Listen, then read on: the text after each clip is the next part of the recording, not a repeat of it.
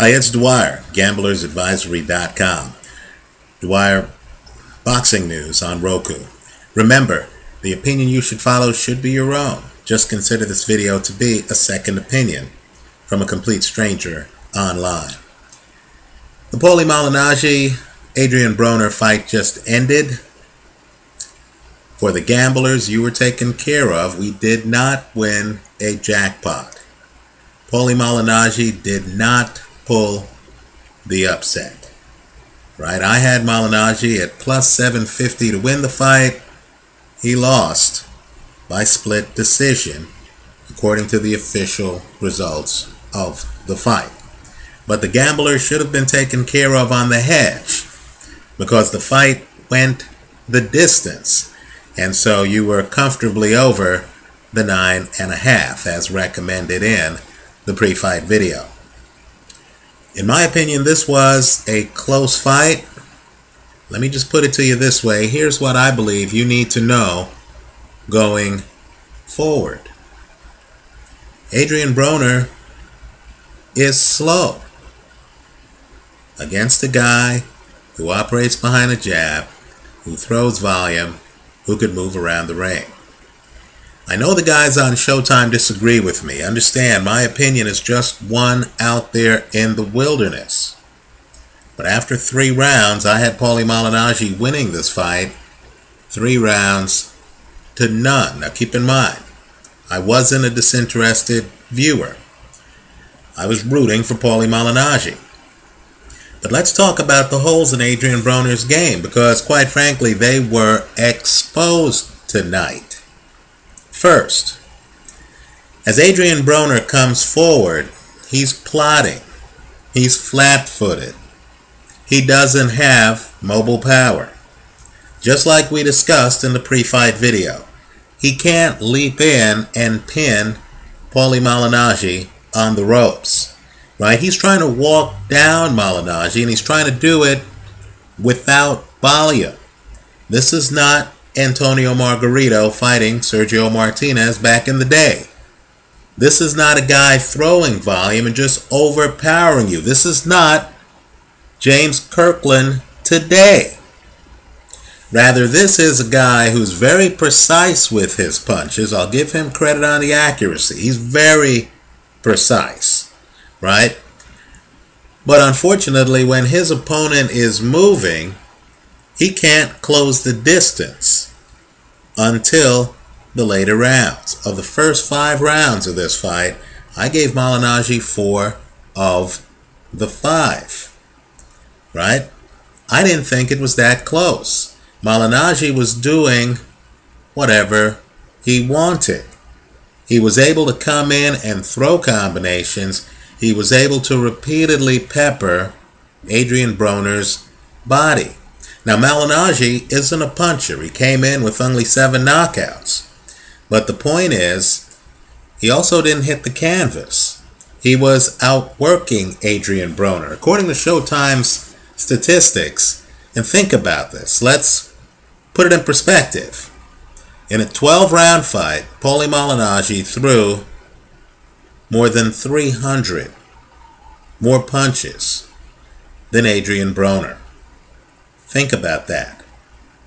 Right? If he outthrew Broner by 20 punches around, he would only have a 240 punch advantage. Right? Adrien Broner's volume, quite frankly, just isn't there. And the mobile power, the ability to move around the ring and throw punches, the gifts that a Floyd Mayweather has. Broner doesn't have. There's an interview here online of Naazim Richardson, Bernard Hopkins' is trainer, and Naazim claims that Adrien Broner is an offensive juggernaut, whereas Floyd Mayweather is a defensive juggernaut.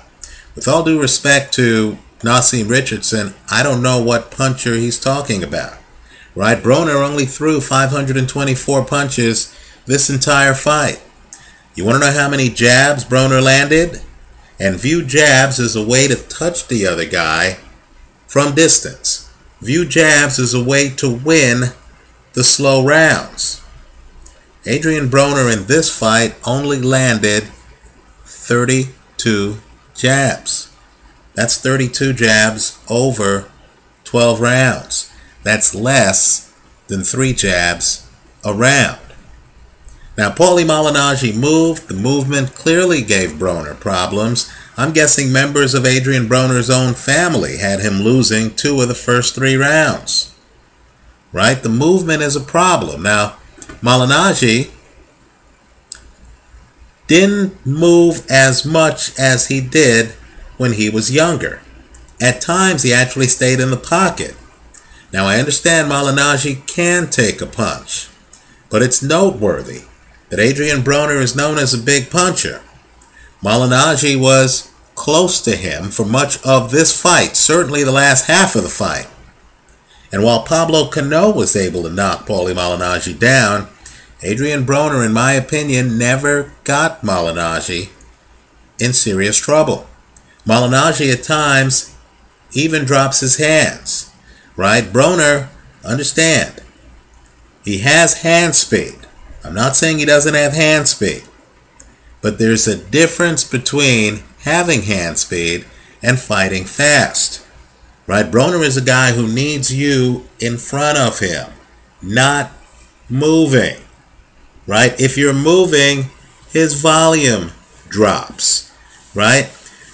He then tries to stalk you. But understand, he's not that elusive. Paulie Malignaggi, in 12 rounds landed 120 jabs. Folks, that's 10 jabs a round. Now, let me say this, and I don't say it lightly. You know, in baseball, there's a rule tie goes to the runner. Right? You know, um, if I hit first base at the same time that the first baseman does, I get a base hit. Now, in boxing, and I'll agree, the 70s were a bit ridiculous. But there was an old adage. Paulie Malignaggi said it in a post-fight interview. You have to beat the champ to take his title. Right? You can't nick it. You have to beat the champ to take his title. I didn't see that in this fight. At a minimum, if you're an Adrien Broner fan, you have to ask yourself how Broner in some books was a greater than 10 to 1 favorite and yet took Paulie Malignaggi's title by split decision. Let me also say, too, there's always one scorecard that makes no sense whatsoever. Given Broner's lack of volume, given the fact that Broner didn't even work his way in, he's just trying to walk down Malignaggi. He's not even trying to jab his way in right? 32 jabs in 12 rounds. He's literally just trying to walk down Paulie Malignaggi. Right? Given Broner's lack of activity, this is a Canelo level of activity. Given his lack of activity, there simply is no way that any judge watching this fight could have Adrien Broner winning the fight by six rounds, as the third judge did. Keep in mind, one judge has Malignaggi 115 113. Let's do the math. One judge has Malignaggi winning by two rounds, right? This third judge has Malignaggi losing by six rounds. Absurd. How close is the fight? The third judge has Broner winning 115 113. Right, so if you bought a Broner ticket, Broner to win, at 10 to 1 or higher odds, I say congratulations. You could have made out just as well taking the straddle we suggested, which was the over hedged against Malignaggi to win the fight. And quite frankly, I have to say, as someone who bet on Malignaggi, I felt ripped off when they announced the decision right? I didn't think Broner did enough to take the title. Might be sour grapes on my part. I will concede Adrien Broner came on you know, um, in the uh, seventh and eighth rounds and the ninth round. I thought that was Broner's best set of rounds. But Malignaggi then came back. And all I'm saying is, when's the last time you've watched a fight? Let's get real here for a second. Where a champion throws more than 300 punches, then a challenger does not get knocked down, does not get cut up, doesn't even get badly hurt, and still loses his title in his hometown. Finally, let's talk about Broner at 147 pounds. Broner says he wants the fans to decide who he's going to fight next. Now, I don't say this lightly, people need to think it through. If Broner had such a hard time, and he had a very hard time, catching up to Paulie Malignaggi, right? And if Broner was unable to hurt Malignaggi, right? Malignaggi's not reeling even when he gets hit flush with some punches. What happens if Broner fights someone who could outmove him? and probably has the hand speed advantage, certainly throws punches in bunches better than Broner, and has a jab in Amir Khan, for example. Right? Broner's power is not the kind of power that he can leap across the ring and hit you with it. Let me also point out, too, some things were disturbing here. Right? Broner lands his right hand repeatedly in the fight. Look at the tape. He's landing that right hand, especially in the seventh, eighth, and ninth rounds. You know what? That right hand didn't have the high octane on it. I didn't feel like I was watching a really heavy puncher. I didn't feel like I was watching Andre Berto or Victor Ortiz land heavy punches, right?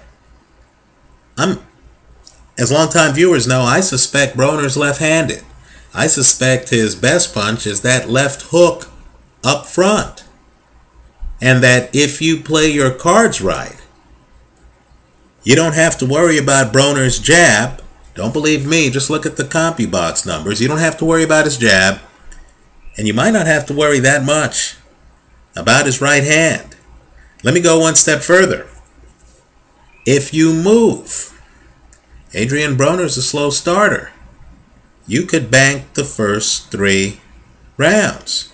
Right now, Paulie Malignaggi doesn't have that big of a punch. But I believe we all know there are guys out there who do. I mentioned Victor Ortiz earlier. Right? There are some guys at 147 with one punch knockout power. Broner is a master chess player. When Paulie slowed down and couldn't move in the later rounds, when he was tired, let's remember he's 32, Broner started having success, started landing that uppercut, started playing chess. A guy like Victor Ortiz, who's a switch, in other words, Ortiz, when he wants, can try to fight you inside, but he can also take a step back and fight you outside.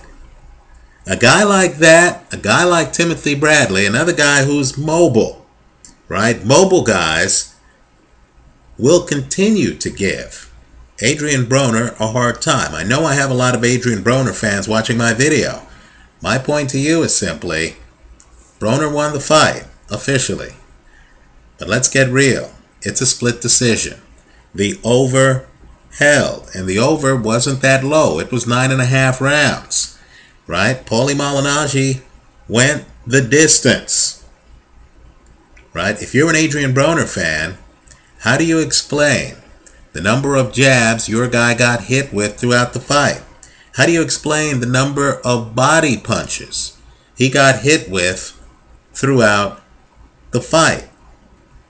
How do you explain his inability to cut the ring off on Paulie Malignaggi for several rounds, right?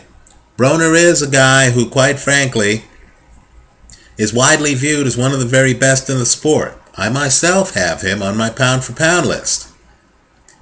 But I have to say, at this stage of his career, he's overrated. right? He, you know, shouldn't be a 10 to 1 favorite, really, against any top contender at 147 pounds. He hasn't shown me that he can leap across the ring and hit a man. He hasn't shown me that he has the foot speed to cut off the ring.